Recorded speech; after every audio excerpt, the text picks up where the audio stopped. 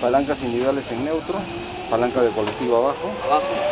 Apenas confirmaron que todo estaba en orden, partieron a la espera del cuerpo rescatado.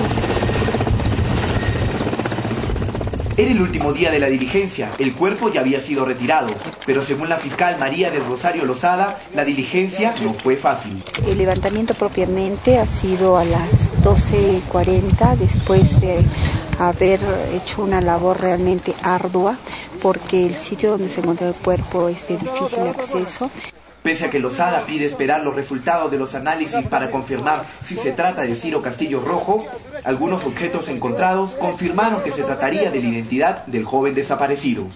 ¿Cuánto tiempo estará el cuerpo en, Arequipa? Bueno, lo que dure la necropsia y después eh, si nosotros eh, se comprueba, porque nosotros tenemos evidencias de que se trata de Ciro Castillo.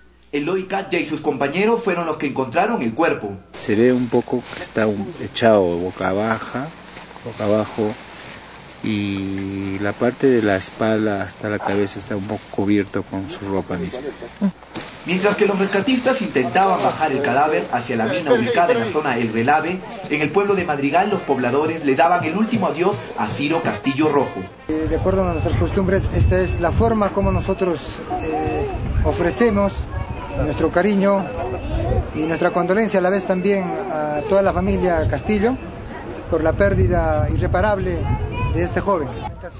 Algunos hasta le ofrecieron parte de sus cosechas como un regalo. Poco a poco los rescatistas iban llegando al pueblo. Ellos fueron los primeros en sacar el cuerpo. Ustedes han visto del otro lado, es todo el trabajo que se ha hecho. ¿Cómo han tenido que descender? ¿Qué Con cuerda, todo el sistema de alta montaña. La noticia del rescate corrió por todo el pueblo. Ellos decidieron ingresar a la mina para ver de cerca al joven del que tanto han escuchado. Por aire se fue el cuerpo más buscado en los últimos días, mientras que por tierra retornaban a sus casas los hombres que por tres días sacrificaron su vida para que una familia pueda estar más tranquila, los Castillos Rojos. Desde Arequipa, con las imágenes de Aníbal Narro y la asistencia de Saúl Dumet, José Miguel Hidalgo, América Noticias.